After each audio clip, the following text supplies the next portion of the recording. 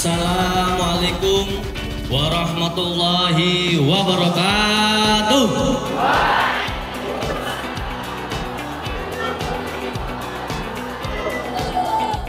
Saya di sini dari Polsek Rungkut. Kalau di jalan adik-adik naik motor itu harus melengkapi persyaratan berkendara.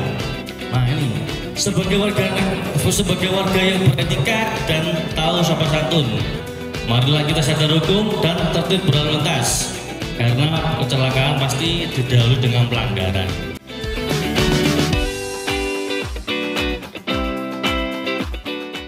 Sebelum berkendara itu harus dilengkapi perlengkapannya dulu supaya kita selamat semuanya baik buat diri kita sendiri maupun orang lain.